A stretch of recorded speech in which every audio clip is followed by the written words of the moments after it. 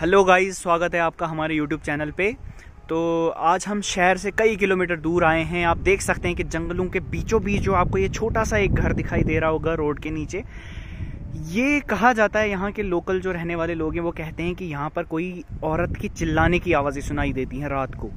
तो ये कितना सच है कितना झूठ है इसके लिए हमने यहाँ के एक लोकल जो रहने वाले रेजिडेंट हैं उनसे जाँच पड़ताल की। तो आइए हम जानते हैं उनसे कि कितना ये सच है और कितना झूठ आप यहाँ के लोकल रहने वाले हैं? जी हाँ भाई मैं यहाँ का लोकल तो क्या भाई हमने ये सुना कि यहाँ पर कुछ मतलब कुछ आवाज़ें सुनाई देती है? कितना सच है ये? क्या कितना झूठ है? भाई ये तो सच है आवाज़ें सुनाई देती हैं यहाँ पे शाम अच्छा। शाम को ऐसे यहाँ पे किन्नर कहा जाता है किन्नर मतलब, की आवाज़ें मतलब ये कहा जाता है कि यहाँ पे कोई किन्नर होती थी। जी हाँ यहाँ पे किन्नर हुआ करती कितने साल पुरानी कितनी साल पुरानी बात है ये? भाई ऐसे तो ये 200 साल से ज़्यादा पुरानी बात है तो मतलब 200 साल पुरानी बात है यहाँ पे कोई किन्नर रहती थी तो उसके साथ मतलब क्या इंसिडेंस ऐसा क्या हो गया? ये कहा जाता है कि यहाँ पे ऐसे किन्नर रहा रहती थी अच्छा। तो यहाँ पे उनके ऊपर जो था ये छत गिर गया था। अच्छा मतलब उनकी डेथ हो चुकी हाँ, है इसी के अंदर। यहीं पे हो चुकी अच्छा तो फिर ये तो लेकिन कई काफ़ी मॉडिफाइड लगता है सीमेंट वगैरह इसका यूज़ हुआ है ये कैसे ये मतलब इसको किसने मॉडिफाई किया? उसके बाद जो ये जो ज़मीन थी ये अच्छा। बेच दी गई अच्छा। तो यहाँ की एक लोकल बिजनेसमैन है उनने ये खरीदी उन्होंने इस पे काम किया। तो ये काम भी काम भी भाई मतलब ये काम भी रुक गया उसके बाद? जी हाँ ये काम रुक गया था यहाँ पे क्योंकि मतलब होता क्या था फिर? ये काम रोकना क्यों पड़ा उन्हें? जो क्योंकि जो यहाँ पे जो लेबर काम करती थी उनके साथ भी ये होता रहता था। आवाज़ें सुनाई देती थी उनको मतलब डर लगता था उनको भी यहाँ पे काम करने से। मतलब उनके साथ बुरे हाथ से हो रहे थे यहाँ पे। हाँ, तो ये हाँ। कितने साल पुरानी बात है? ये कब मतलब कितने साल हो गए इसको बनाए हुए? भाई ये नया जब बनाया इसको तीस से चालीस साल हो गए। मतलब पुराना तो 200 साल पुराना था लेकिन इसको 30 से 40 साल हो गए। जी हाँ 30 से 40 साल हो गए।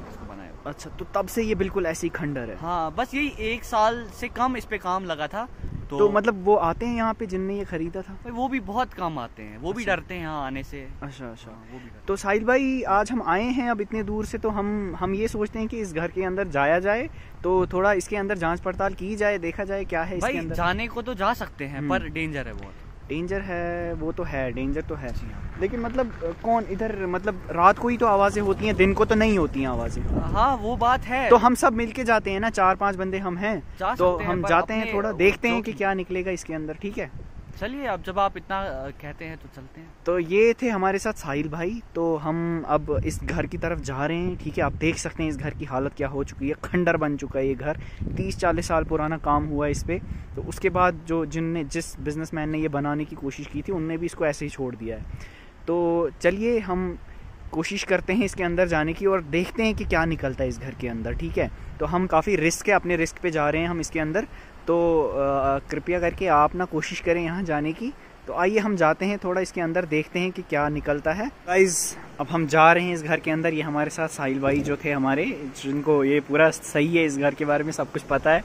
तो वो जा रहे हैं इस घर के अंदर। भाई, ये इसका पहला रूम था। अच्छा ये पहला रूम है। इनका कहना है क्या आप क्या कह रहे थे कि जो चौथा रूम है उसमें वो खुद रहती है? यहाँ पे चार रूम है हम्म। तो कहा जाता है कि चौथे रूम में और अच्छा, वो अच्छा। अच्छे से बंद किया गया है उसको। तो चलिए हम चलते हैं पहले रूम के अंदर ये आया पहला रूम आप देख सकते हैं कि बेचारे ने जो भी बिजनेसमैन था उसने काम तो करवाया था लेकिन कुछ कमा नहीं पाया ऐसे ही छोड़ दिया है फिर। ये वाला रूम जो था ये हम्म। पूरा लगभग इसका जो वर्क था काम पूरा हाँ, हो गया हाँ वैसे दिख रहा है पूरा काम तो खत्म है। तो ये आग जैसी क्या है? आपका क्या कहना है तो इसके बारे में? यहाँ के जो बिजनेसमैन थे जिन्होंने बनाया था उन्होंने यहाँ पे कोशिश की थी उनने की तांत्रिक वगैरह को हाँ, तांत्रिक किले को लेकिन कुछ नहीं कुछ नहीं हो पाया। ओके। तो हम अब चलते हैं दूसरे रूम की तरफ़। हम सब डरे हुए हैं काफ़ी और हमने साहिल भाई को जो सबसे आगे रखा है हाँ, क्योंकि हम खुद भी बहुत डर रहे हैं यहाँ पे। तो ये दूसरा रूम आता है यहाँ पे। आप देख सकते हो जो पिछला जो रूम था वो पूरा मतलब इसमें थोड़ा उससे कम है। हाँ हाँ थोड़ा ऐसे ही हो रहा था यहाँ पे वो चल स्टेप बाय स्टेप पर। हो नहीं पाया कंप्लीट हो नहीं पाया। तो अब हम चलते हैं तीसरे रूम की ओर और, और इसके बाद वो कमरा आता है जिसके बारे में कहा जाता है कि सबसे डरावनी कमरा वही है। है भाई। तो ये ये। तीसरा कमरा है। आप देख सकते हो यहाँ पे जो काम थर्ड रूम है। अच्छा तो, तो ये थर्ड रूम हाँ। तो आप देख सकते हो इस पे जो वर्क हुआ है बहुत कम हुआ है।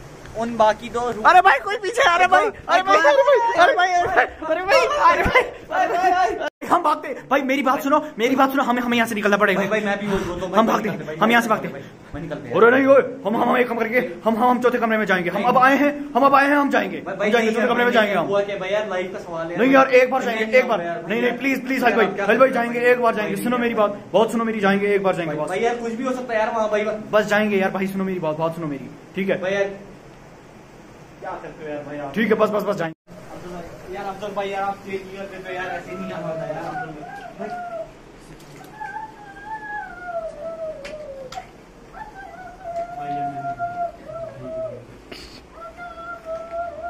कौन?